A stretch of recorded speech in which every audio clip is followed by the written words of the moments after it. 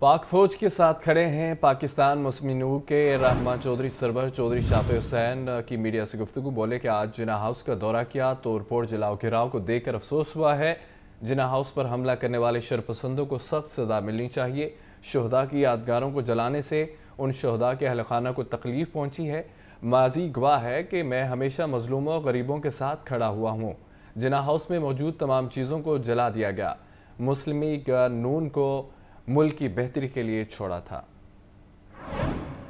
आज हम इधर कायद अजम मोहम्मद अली जिना हाउस आए हैं कोर कमांडर हाउस, और यहाँ पर सारा हमने विज़िट किया आके।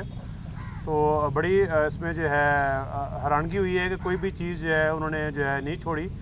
और जितने भी लोग इसमें इन्वॉल्व रहे हैं, जो 100 परसेंट कन्फर्म हो गए इन्वॉल्व रहे हैं, उनको मैं समझता हूँ कि सज़ा देनी चाहिए ताकि कभी कोई दोबारा इस तरह सोचे भी ना करने का।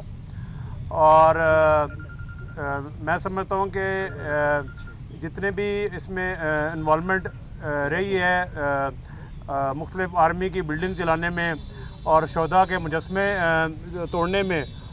तो ये मैं मैसेज इसलिए दे रहा हूँ कि हमें अफवाज पाकिस्तान के साथ पूरी कौम को शाना बशाना खड़े होना है। और जो शरपसंद यहाँ पर जो पाकिस्तान का झंडा लगा हुआ था, मुझे बताया गया है कि उस झंडे को उतारा गया, झंडे को पाँव तले रोंदा गया। तो मेरा पहले दिन से ये मुतालबा है कि इनको कड़ी से कड़ी सज़ा दी जाए, इनको कैफरे करदार तक पहुँचाया जाए। मैंने पाकिस्तान मुस्लिम लीग नून को उस वक्त छोड़ा जब अरूज पे थी।